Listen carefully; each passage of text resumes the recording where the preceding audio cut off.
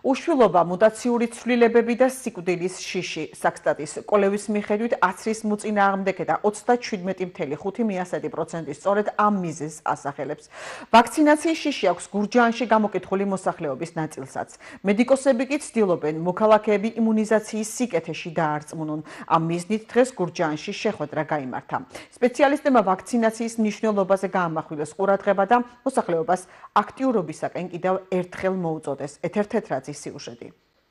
ბოლო ერთი კვირაა საქართველოში COVID-19-ის საწინააღმდეგო ვაქცინით სულ უფრო ცოტა ადამიანი იცრება. ჯანდაცვის სამინისტროში აცხადებენ, რომ ამის მოლოდინი ჰქონდათ და ამიტომ პირველადი ჯანდაცვის ექიმებთან არაერთი შეხვედრა გამართა. ვაქცინაციის საჭიროებაზე ისაუბრეს დაავადებათა კონტროლის ეროვნული ცენტრის წარმომადგენლებმა დღეს გურჯაანშიც.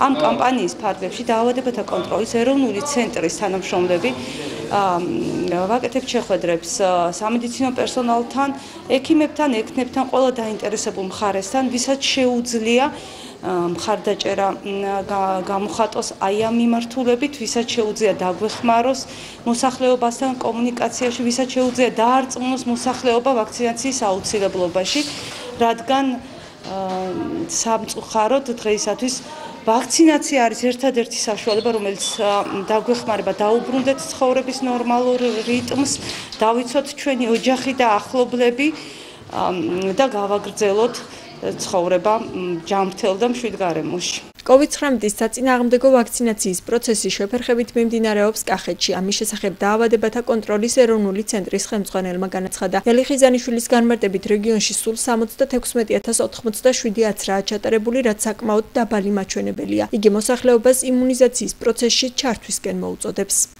მე ვფიქრობ რომ თლიანად საქართველოში ეს კლება გამოწეულია იმით რომ ადამიანების ის ნაწილი რომელსაც სულდაც რა უკვე თითქმის აიცრა ეხლა დარჩენილია ის ადამიანები ფაქტიურად რომლებიც სადაც ჯერ გადაწყვეტილი ან საერთოდ არ უნდათ აცრა ან კიდევ ყოფმანობენ და გადაწყვეტილი არ აქვს რომ აიცრან თუ არ აიცრან მე მინდა მიმართო მოსახლეობას ვთხოვო მოსახლეობას რომ აცრა არის ერთადერთი ყოველ შემთხვევაში ერთ-ერთი ყველაზე მძლავრი და უალტერნატივო საშუალება რომელიც მიგვიყვანს პანდემიის დასრულებამდე დასრულებამდე. გურჯაანის საზოგადოებრივი ჯანდაცვის სამსახურის ინფორმაციით რაიონში 7527 პირია ვაქცინირებული. მათი უმრავლესობა კი ფაიზერითა და სინოფარმით არის აცრილი. იმუნიზაციის ექიმის განმარტებით აცრის ჩატარება შესაძლებელია როგორც გურჯაანის ჯო ჰოსპიტალსის ავადმყოფოში, ასევე კაჭრეთის სოფელ გურჯაანის ველისციხის შაშიანისა და კალაურის ამბულატორიებში. ასრილია მოსახლეობის საკმაოდ კარგი ნაწილი, ეს არის რაღაც 16-17%. მოგახსენებთ, რომ არც ერთი სერიოზული გართულება არ დაფიქსირებულა ჩვენ ყოველდღიურად და ყოველთვიურად შემაჯამებენ ანგარის ვაქცინით ცენტრში. იყო მხოლოდ ტემპერატურის მატება, რაღაცა ადგილობრივი რეაქციები, ისე რომ ვაქცინაცია მიმდინარეობს უსაფრთხოდ. უფრო მეტი მოთხოვნილება გაჩნდა Pfizer-ზე და Sinopharm-ზე. ამ ეტაპზე გვაქვს 4 სახეობის ვაქცინა.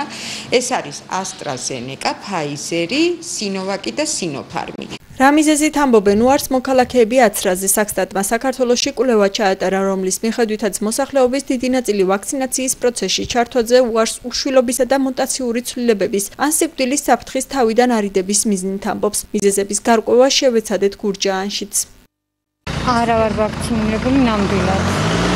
მე შინი ამ ვაქცინის, იმიტომ რომ მე თან დაყოლილი ისინი მაგ და რომ რამე გამოიწიოს უარყოფითად, მაგიტო არ ვიცრები ჯერჯერობით და მე რე ვნახოთ. არ მინდა და არ ვიცრები რა. მე შინია. და იმიტომ არ ვიცრები.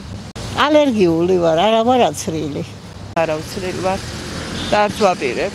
რა ვიცი, რამდენი ჯერ მეაცრილები გარდაიცვალნენ და მაგის მეშინია 22 სექტემბერს საქართველოში კორონავირუსის საწინააღმდეგო ვაქცინით 12948 ადამიანი აიცრა. ჯამში 1.700.895 აცრაა ჩატარებული. აქედან სრულად ვაქცინირებულია 740814 ადამიანი.